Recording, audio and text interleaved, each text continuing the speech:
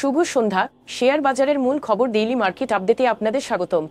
আজ ডিএসির মূল সূচক ডিএসিএক্স পঁয়ত্রিশ দশমিক ছয় আট পয়েন্ট বা শূন্য দশমিক ছয় তিন শতাংশ বৃদ্ধি পেয়ে পাঁচ হাজার ছয়শো সাতানব্বই পয়েন্ট হয়েছে। এছাড়া বাজারে লেনদেনের পরিমাণ ছিল নয়শো ছিয়াশি কোটি টাকা, যা আগের দিনের তুলনায় আট দশমিক এক আট শতাংশ বেশি। ওষুধ ও রসায়ন খাত থেকে কোহিনুর কেমিক্যালস বেক্সিমকো ফার্মাসিউটিক্যালস এবং ওরিয়ন ফার্মাসিউটিক্যালস এনবিএফআই খাত থেকে ইনভেস্টমেন্ট কর্পোরেশন অব বাংলাদেশ শিল্প খাতে জিপিএইচ ইস্পাত সাইফ পাওয়ারটেক এবং বিএসআরএম স্টিলস আজ সূচকের বৃদ্ধিতে মূল ভূমিকা রাখে।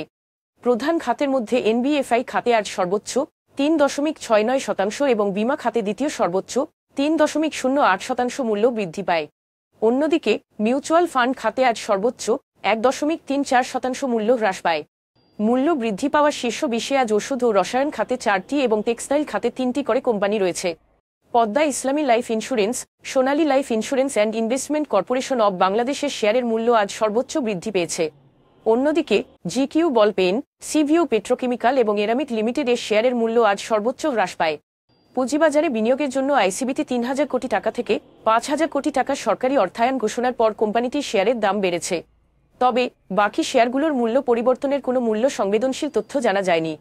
গত তিন মাসের গড় লেনদেনের তুলনায় আজ ইসলামী ব্যাংক নাভানা ফার্মাসিউটিক্যালস এবং সোনালী লাইফ ইন্স্যুরেন্সের লেনদেনের পরিমাণ উল্লেখযোগ্যভাবে বৃদ্ধি পেয়েছে। নাভানা ফার্মার জেনেরিক ওষুধ উৎপাদনের নতুন ইউনিট স্থাপনের জন্য প্রাথমিক গণপ্রস্তাবের সতেরো দশমিক চার নয় শতাংশ অর্থ পুনরায় বরাদ্দ করার কারণে নাভানা ফার্মার লেনদেনের পরিমাণ উল্লেখযোগ্যভাবে বেড়েছে। তবে, বাকি শেয়ারগুলোর লেনদেন বৃদ্ধির স্বাভাবিক কোনো কারণ জানা যায়নি। আজকের শীর্ষ দুটি সংবাদ, বাংলাদেশের জন্য কর জিডিপি অনুপাত, একটি দেশের উন্নয়নের লক্ষ্যে অর্থায়নের একটি গুরুত্বপূর্ণ নির্দেশক যা দুই হাজার তেইশ অর্থবছরে সাত দশমিক তিন শূন্য শতাংশে নেমে এসেছে, যেটি দুই হাজার বাইশ অর্থবছরে সাত দশমিক পাঁচ চার শতাংশে এবং দুই হাজার একুশ অর্থবছরে সাত দশমিক ছয় চার শতাংশে ছিল। অর্থনীতির সামগ্রিক অগ্রগতির তুলনায় কর রাজস্বের স্লথ প্রবৃদ্ধি হয়, যার ফলে এই পতন লক্ষণীয়। অনানুষ্ঠানিক খাত শ্রম বাজারে আশি শতাংশ শ্রমশক্তির অংশ দখল করে আছে এবং এটি উল্লেখযোগ্য পরিমাণ সরকারের কর ফাঁকি দিয়ে আসছে, যা এই পতনের জন্য ব্যাপক হারে দায়ী।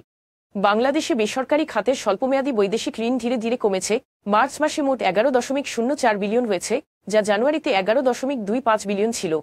এই পতনের কারণ বৈদেশিক ঋণের উচ্চ সুদের হার, যা ঋণগ্রহীতাদের নিরুৎসাহিত করে।